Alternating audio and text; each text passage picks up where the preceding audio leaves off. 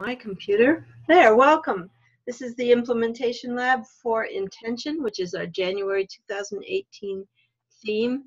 And we are here on December 20th, just before all the holidays break loose. And I really appreciate the um, participation of you guys because I imagine that your life has been pretty busy these last few weeks, getting everything in place for our children and our families to have wonderful memories of this season.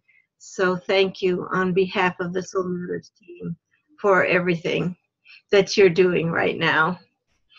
So um, I thought I'd start with one of the quotes from the packet. This is by Parker Palmer. Before you tell your life what you intend to do, make sure you listen for what it intends to do with you. I'm going to light our chalice.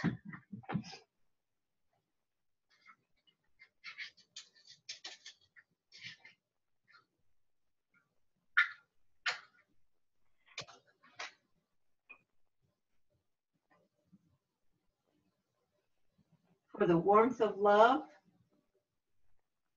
the light of truth, and the energy of action.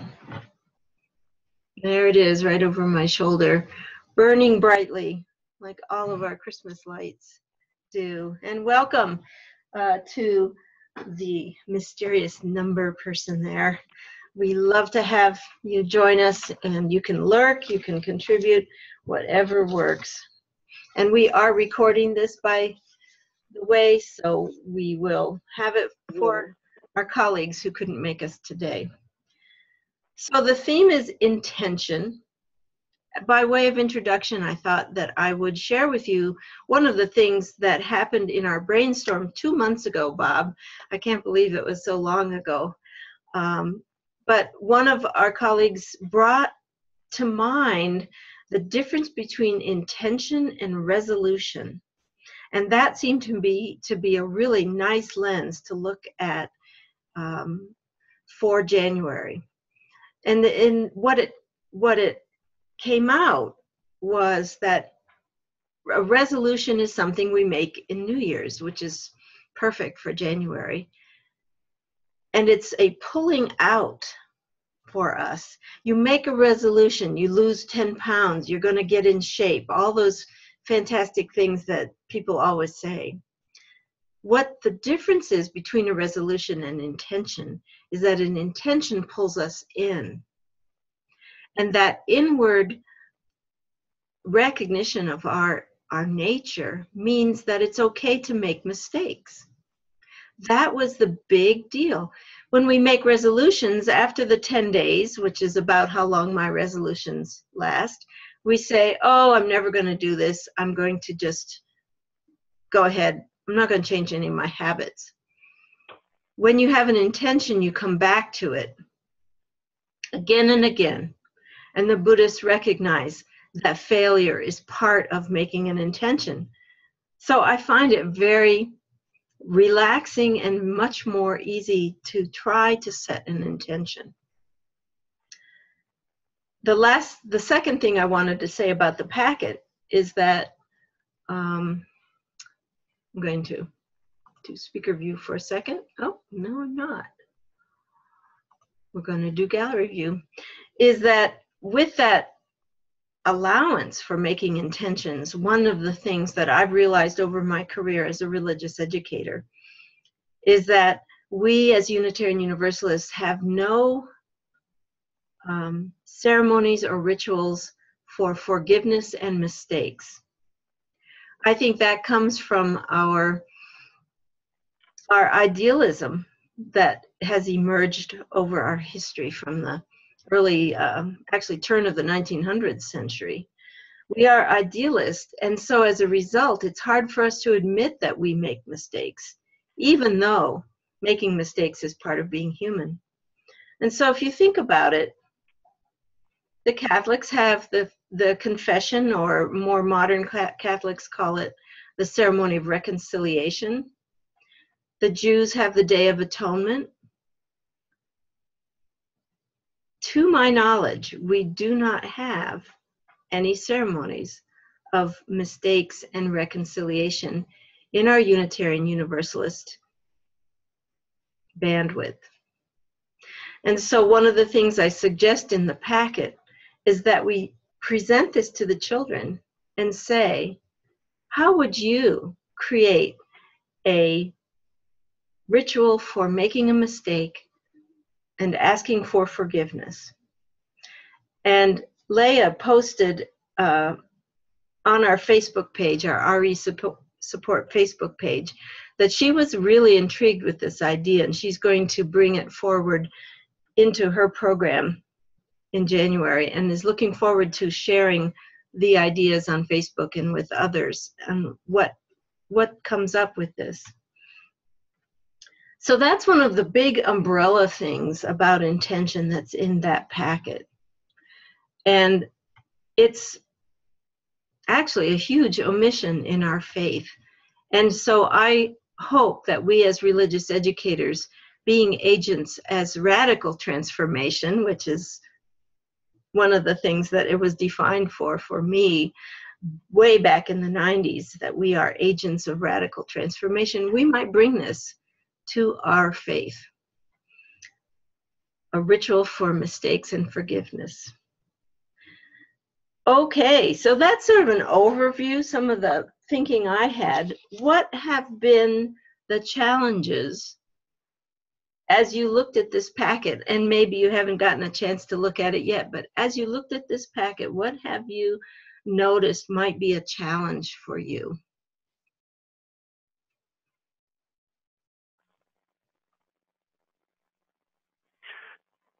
One of my challenges um, in dealing with uh, soul matters in general, and and this month is yet another example there's a raft of uh, books and um, and other materials that that are uh, made available and and uh, and pointed to.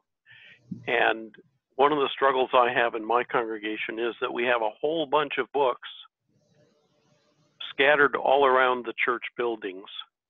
We have several buildings, and there are books in different places. And I have no idea whether we have any of those books that are listed. Mm.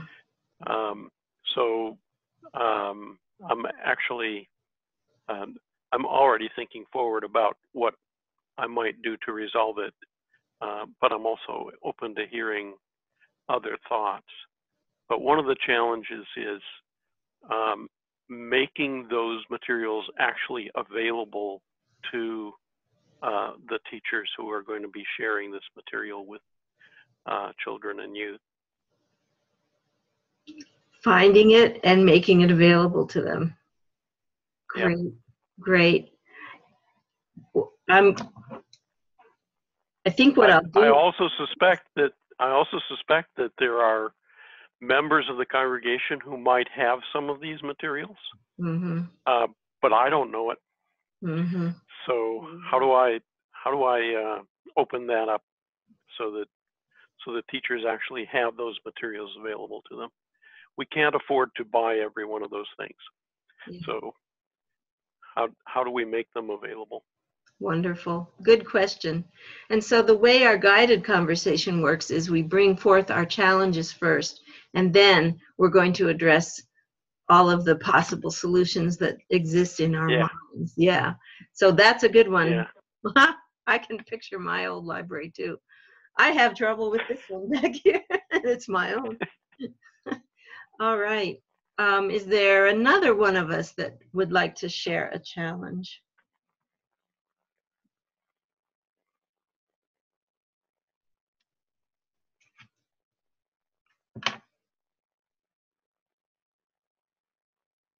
Oh, yes, Carolyn. Everybody, um, so I guess I would say a challenge uh, for me is um, I have two challenges.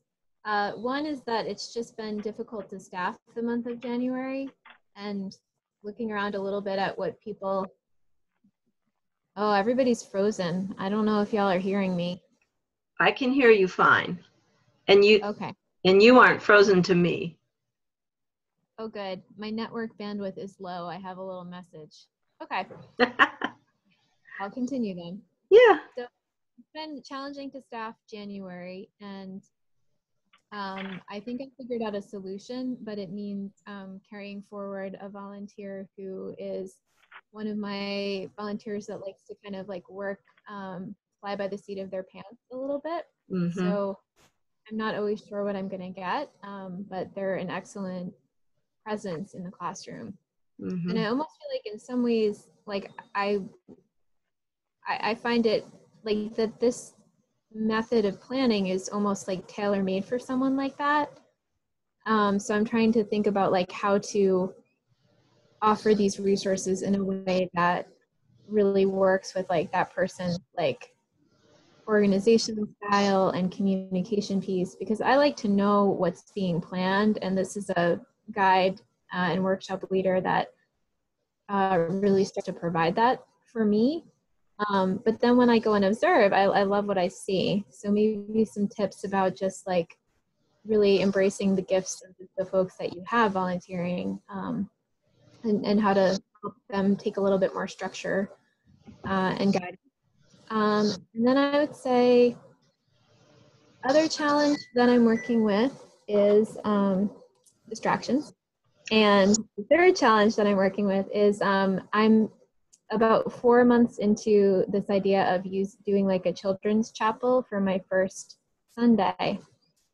And I find that because we're doing monthly themes, if I plan the first one and then we have months like every month that has like a holiday where kids have a three day weekend from school, um, I don't I don't always know how how I don't know if the if, I don't know if my volunteers are feeling like invested enough in the curriculum because sometimes they're only planning like two sessions if we have something special happening because of a holiday weekend. So that's just sort of like a format challenge. Okay. That'll- Say, say a little more about the chapel structure that you're starting. Uh, so I'm leading a multi-age group with uh, our first and second grade group and our third and fourth grade group. That's for the whole RE session, but the RE session does begin with the kids in um, the, the big worship service. And So we have about following their their time in the the full worship. All right. Just a few little challenges there for you, Carolyn. Great. Yeah, it's great. Those are those are good ones too. I know I've heard them before. So that's wonderful. Um, other challenges from uh, maybe Kathleen, unless Kathleen just would like to lurk, or our 617 area code audio.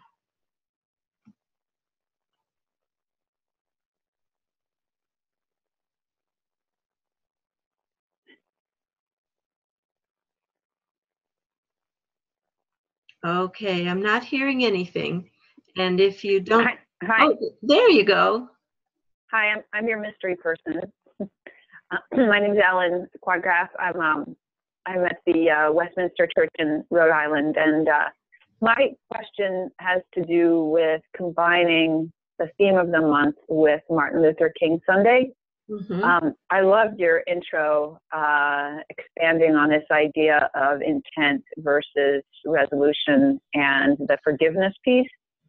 Um, and I feel like that may be an angle into um, Martin Luther King Sunday. But anyway, I'd love to hear thoughts about how to combine the theme with um, you know, either the promise and the practice or just generally Martin Luther King Day and anti racism. Wonderful. Thank you for that inclusion. Oh, yeah, great. And um, thank you for introducing yourself, Eileen, Ellen. And if you'd like to fill in the chat too, it looks like you might have, but that would be great. Chat is location, congregation, and name. That helps me keep track of everyone. Okay, and of course we welcome lurkers, but Kathleen, if you feel like you want to say something, just jump right in. So those are our challenges. for this month, besides just existing and being a DRE. so, what I'd like to do is just invite us to center for about 30 seconds in silence and think about these challenges and possible um, suggestions from us and from the group. So I'm going to ring a little bell, and it's just a minute, of, uh, 30 seconds of silence.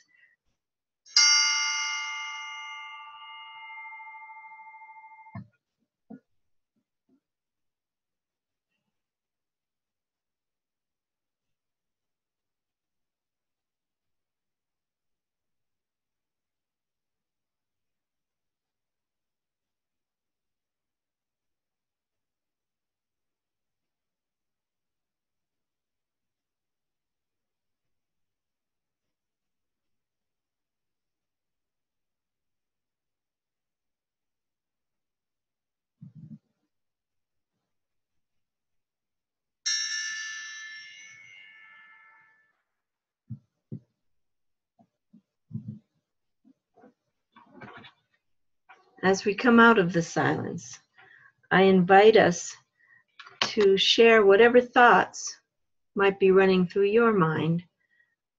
I appreciate the silence because I am a person who would jump in with solutions. I do that in marriage therapy too. and they're like, no, don't jump in. Let's just make space for listening and being. But now is a time when we can share possible solutions, things that happen in your congregation for any of these challenges, for incorporating anti racism and MLK Sunday, for the chapel and embracing of the di- gifts of diverse volunteers and the multi-gen chapel. And how how on earth we find and coordinate resources for our volunteers.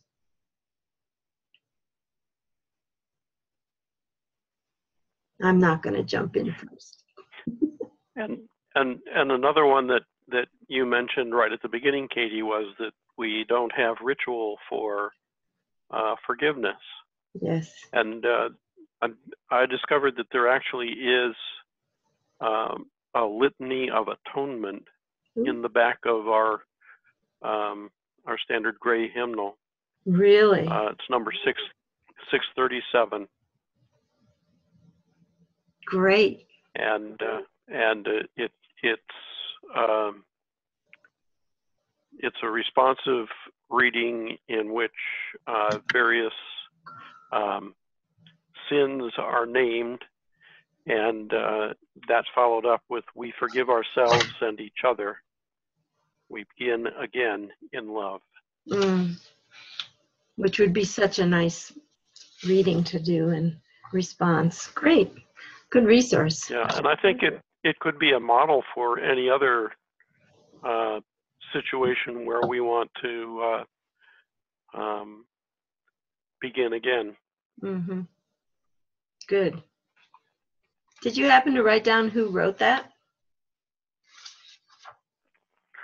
Um, let me see.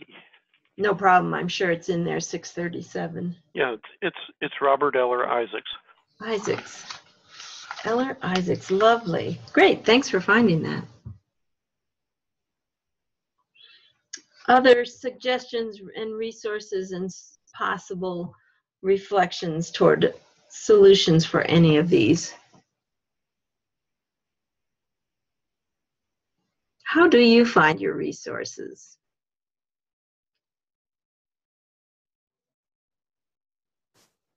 Uh, I can share a little bit about that. Um, I only have one building and only one place where books are kept, so that's a lot easier for me.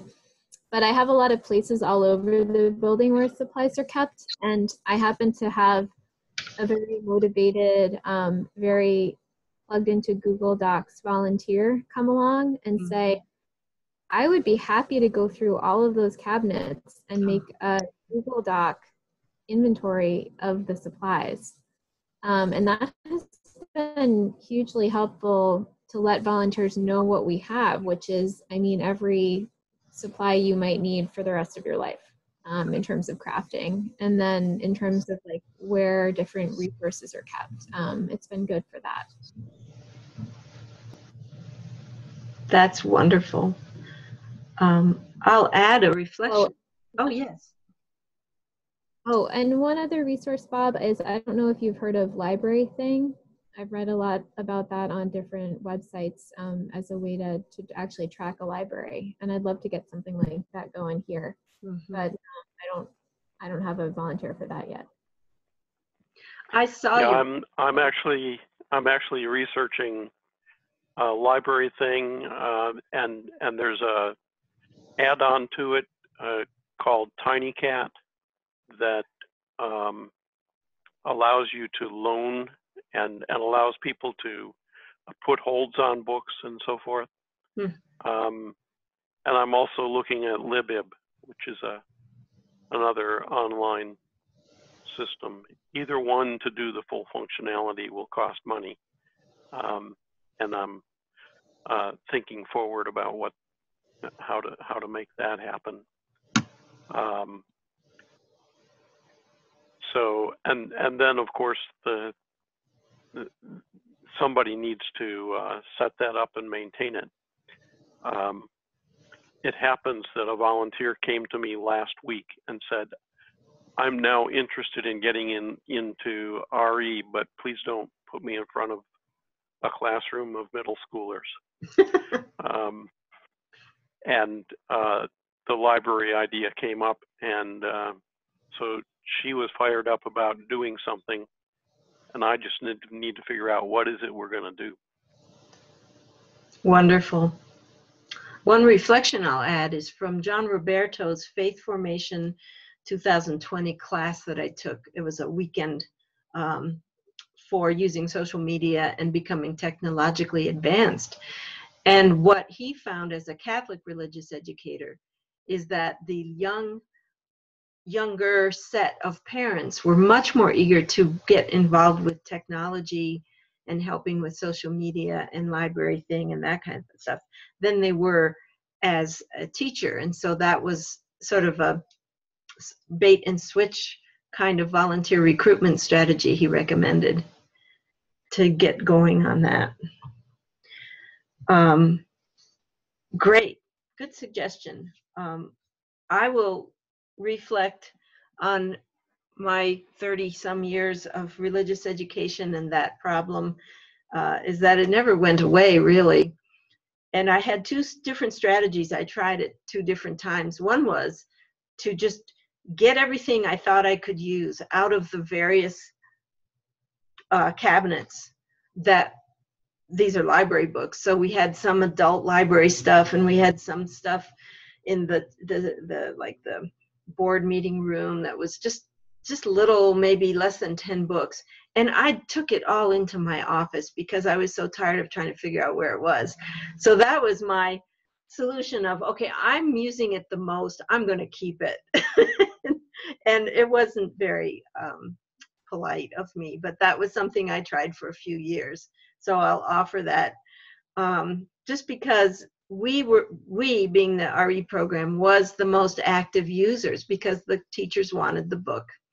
And oftentimes they would come the sunday before and say i really want to just take the book home and read it so when i come back to teach next sunday i have know what i'm doing. So that's that was just something i monitored with the teachers and then the second thing was to find a volunteer who was an older person, a former librarian, who came up and said, Katie, I notice your books are in total disarray. Would you like me to sort them according to your own categories? And she put dots on everything. And that was great. It lasted for a good three, four years before everything just got totally jumbled again. Um, so I agree, the library is something that we curate as religious educators often, but boy, can it be a time suck. So I'm I'm happy to hear that both of you, Carolyn and Bob, have been saying somebody, implying not me.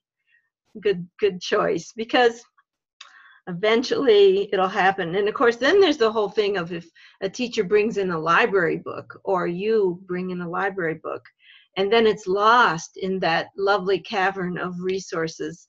We've always had that happen, and so I was always very careful if someone brought, or if I brought in a library book to just sort of grab it at the end of the Sunday and put it on my desk or ask others to do it. Because we, we had people with some hefty fines because they couldn't find them. Oh, there's, a, there's, there's just a few reflections on that. Um, other things, let's see. One of the books for Ellen in the um, resources, I think it's the elementary resources for MLK, was the lovely book about Ruby Bridges. Um, we are so, here's, here's a reflection, I'll just bring it off the top of my head. We, being um, religious educators right now, are struggling so much with the white supremacy, the white privilege, the concepts which are so far beyond anything we've done um, in the past for MLK Sunday that you might be looking for new angles and new hooks.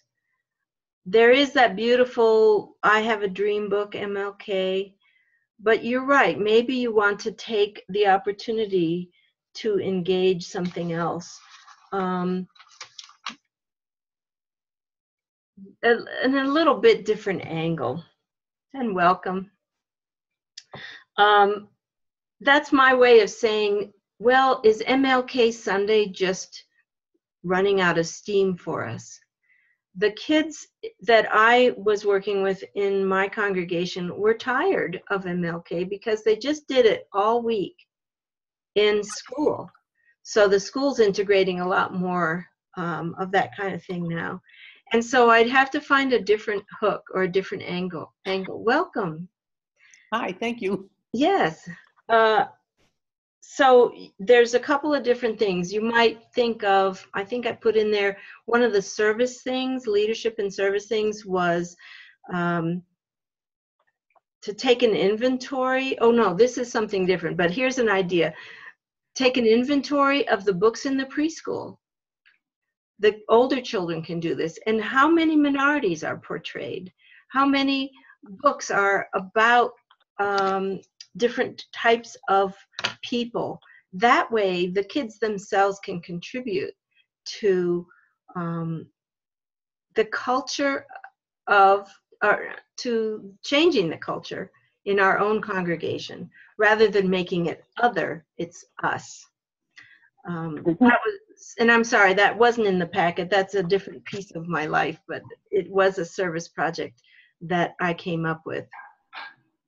Um, other things, maybe you guys have thought of something to do for MLK as it's coming up in January.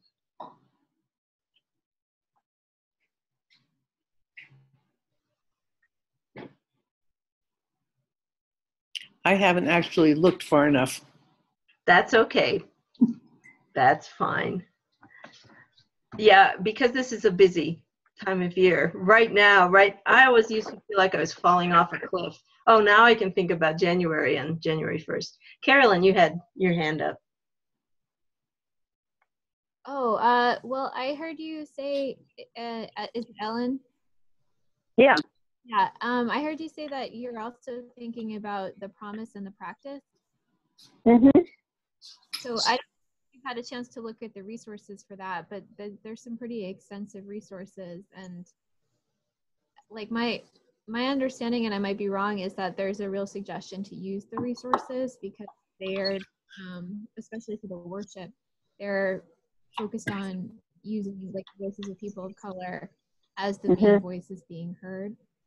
hmm So I feel like that that might be like a, a way to guide what, what kind of additional projects might happen in RE. Um, but I do know that the, the RE resources are pretty extensive and like there's a suggestion to do the activity with like breaking the chalice um, and then reconstructing it with the group. So I don't know, that was what I had in mind. Um, we're going to do that on February. Great. Thank you. All right, someone's phone is ringing, so if you're muting, that, that really helps. If you're not talking. Oh, it was yours. Yeah, my husband just took it out of the room. Oh, good. Sorry. Helpful guy. Thank you, husband. It's nice to do that. Embracing the gifts of diverse volunteers. You know, um, there's a lot, this is something Carolyn brought up. So I've heard of programs that do the January intersession as a more low key time because I do think it's some of it is in response to the exhaustion of the holidays and just needing to have something a little lower key. Um, I live in Colorado, and the the um, attendance in January would plummet because it's ski season, and people would just be gone on Sunday, and and so at that point we started doing.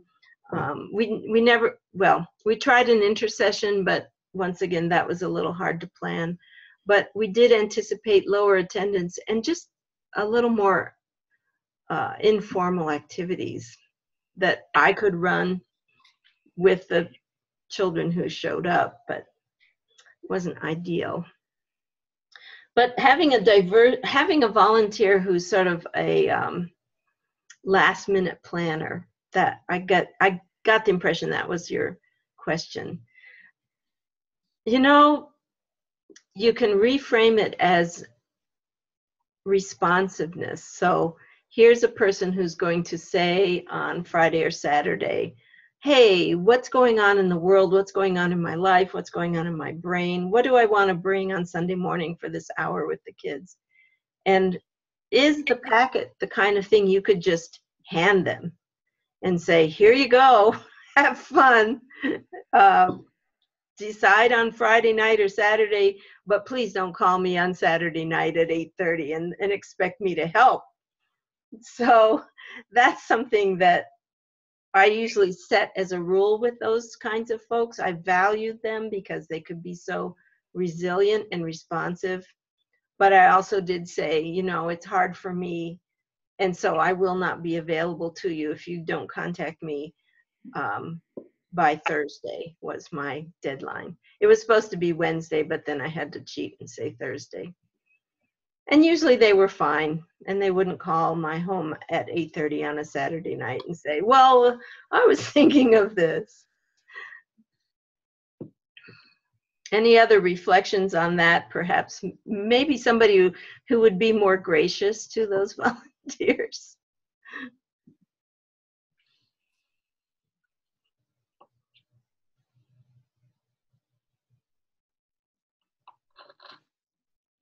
Okay.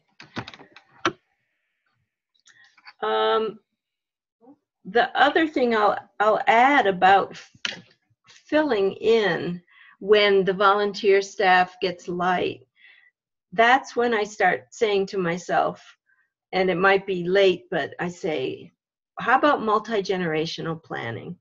What kind of January service could we offer? That would be the whole program. The whole, fa- all of the families just come, and the minister and I do something. So our January intergen, we we were set up to do once a month. Took care of that one, one of those Sundays. And oftentimes, since there wasn't an, a real big holiday in January, we would do what we called um, UU mission. So it might be something historical, it might be something um, from history of and heritage of Unitarian Universalism. It might be something uh, for the mission of our church. The mission of our church was bringing to life love and reason. So we tease that out in different multi generational ways together, and then we wouldn't have to have volunteers.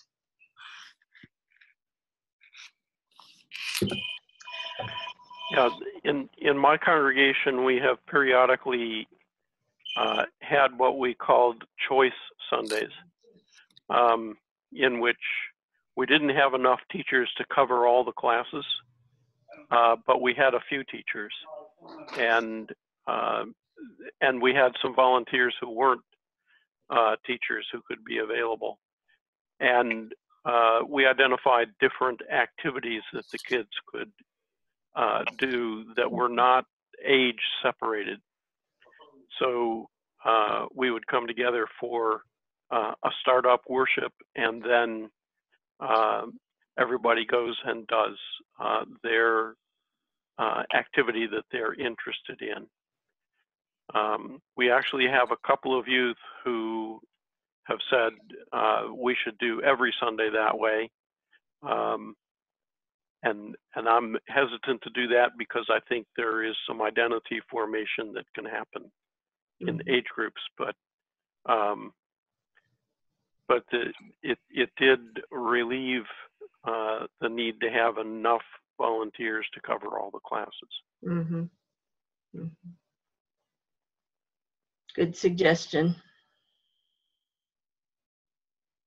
Well, I think we've hit on some of those. I'd like to bring our um, suggestions from the group time to a close and do 15 seconds of silence, and then we were we are going to look at opportunities that are present.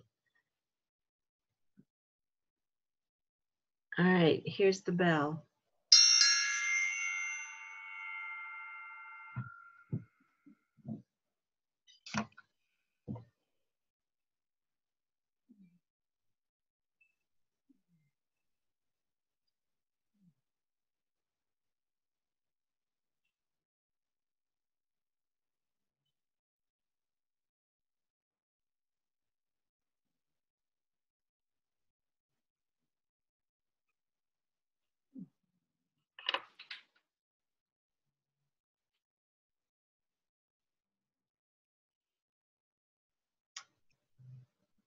And we return. So this part for me, where we talk about the opportunities of January, of intention, of whatever else is going, is a way to reframe the things that we've been talking about.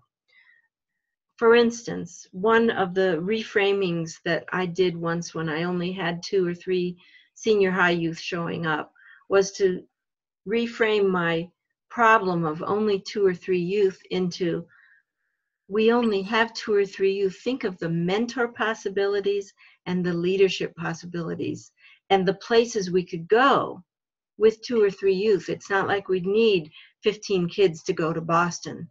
It would be easier to take three kids to Boston. So if we have if you have opportunities that you can see by reframing anything that's going on right now.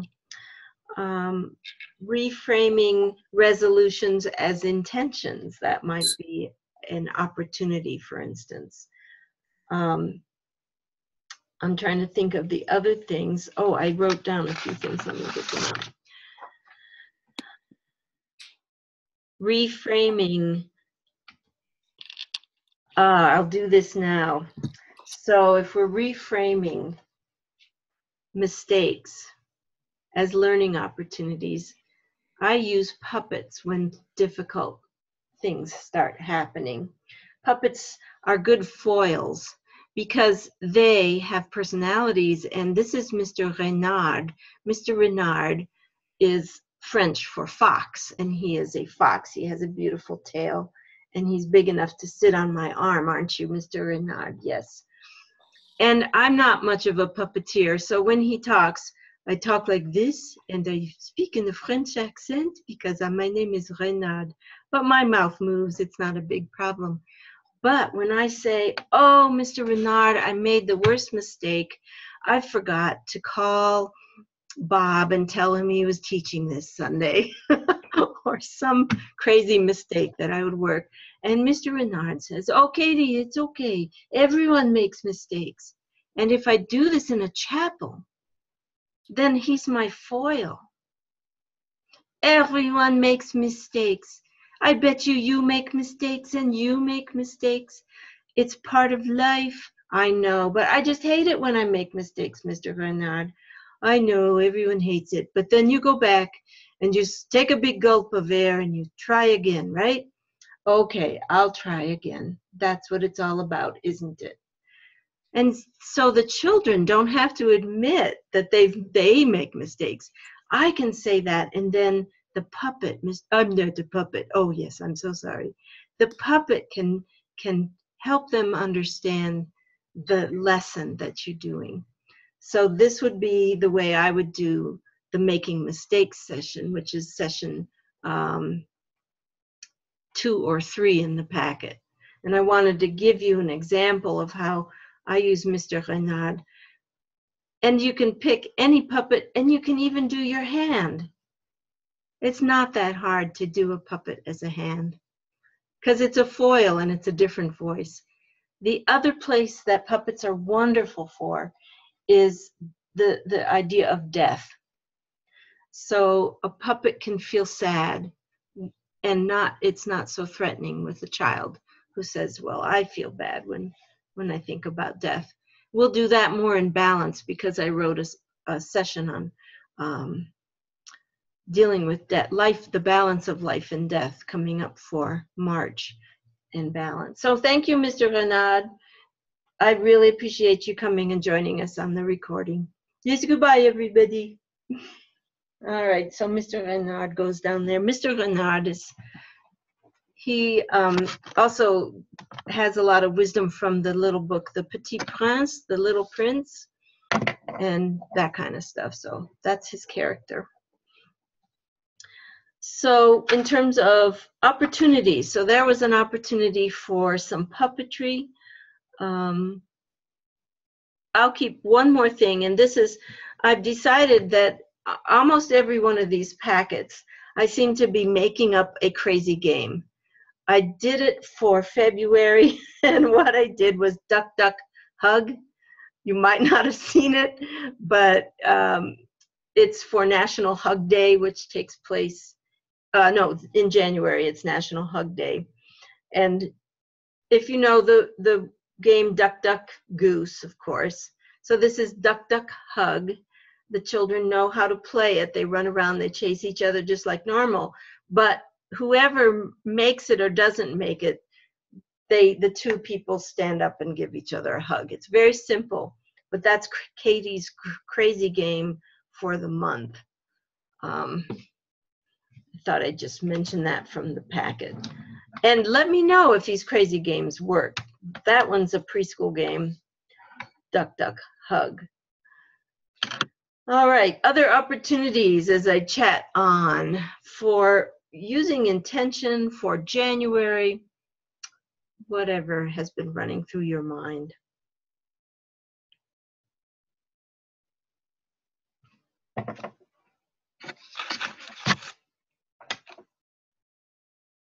Um, I can share a little bit.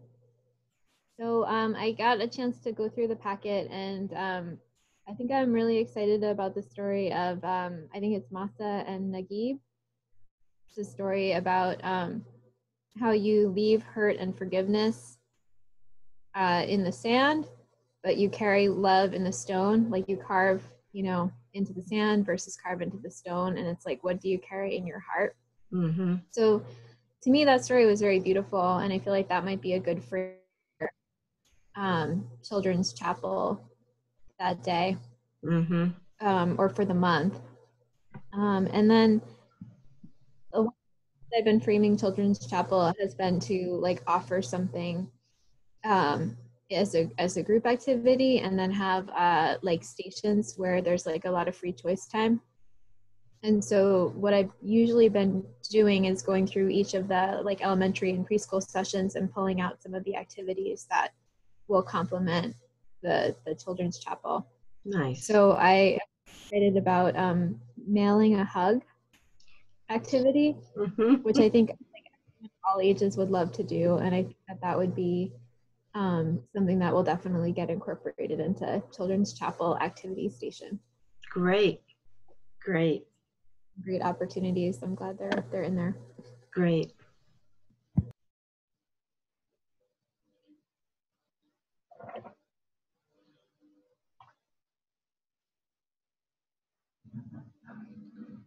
I think the two opportunities to use the two songs about intention.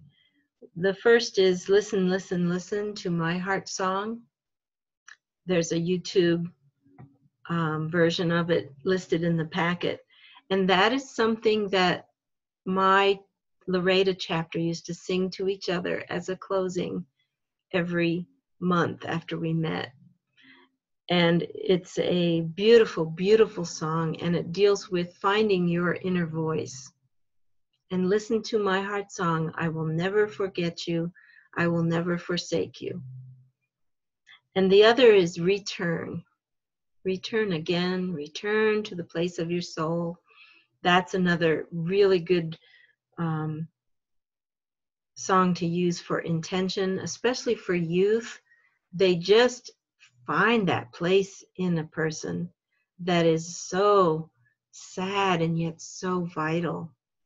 So I just wanted to lift those up as opportunities that I hope you don't miss. Yes, there it is. A song all my kids have been practicing. Yes. It's a beautiful song. Thank you for sharing that on the chat. Um, op- another opportunity is the two super moons that are coming up in January. I always like to do, for some reason, I always like to do science in January. It just seems natural after Christmas and the rituals and the mysticism and the hope. Science just seems to fit.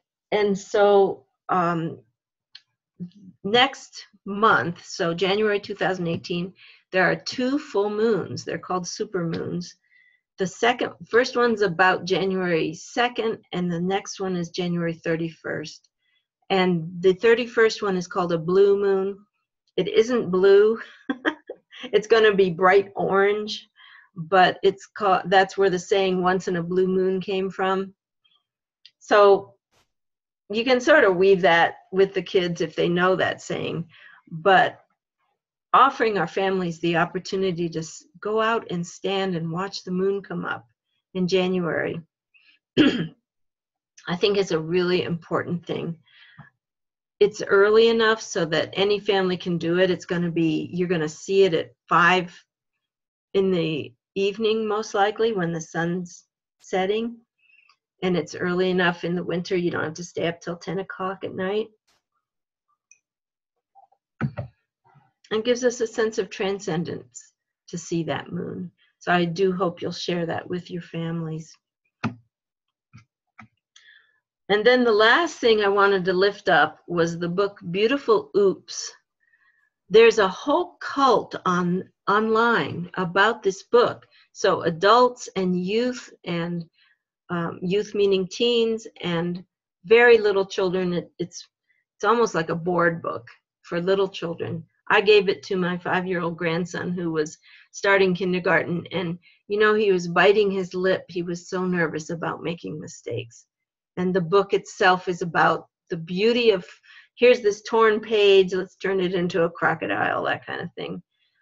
Um, I usually don't recommend books with uh, things that come out because they just get ripped and fall apart. But this particular one fits so well with with our theme of intention and making mistakes that I did recommend it and I do recommend it to you.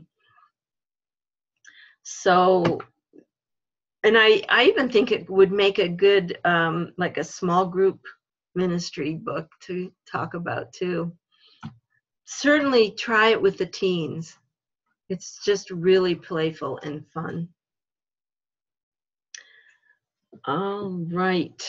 Um, we're getting close to our time and the I think what I'd like to do is share takeaways. So one thing, two things that you're going to take away from our hour together today, please feel free to share.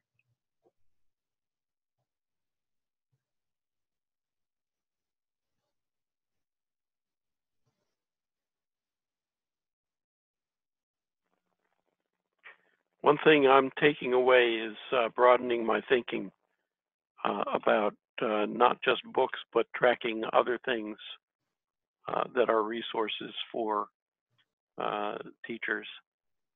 Um, so I think it was Carolyn that mentioned that. Great.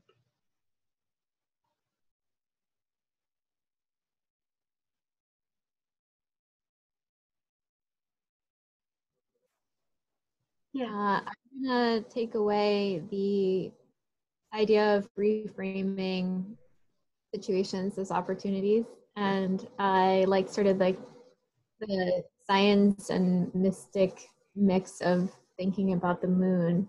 Um, and that volunteer that I was struggling with in some ways um, also made that suggestion to families to have their their children go out and celebrate the solstice by watching the sunrise and uh, I just really want to lift up like the beauty of like everyone contributing and being part of the team.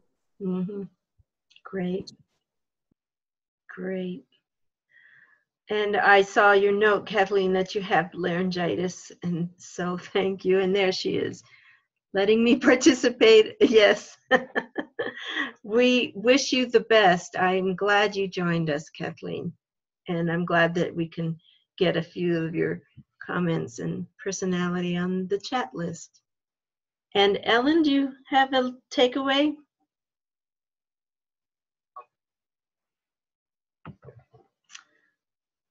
Maybe not.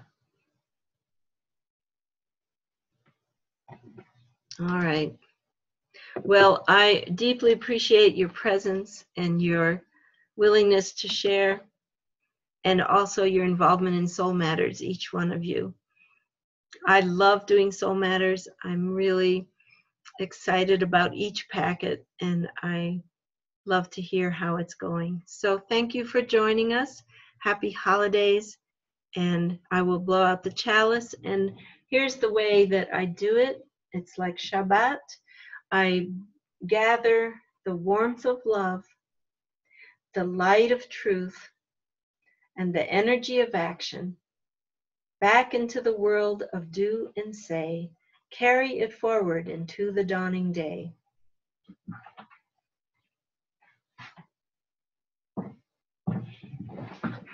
Bye bye, everybody. Have great holiday. Bye bye. Bye bye. Thank you. hmm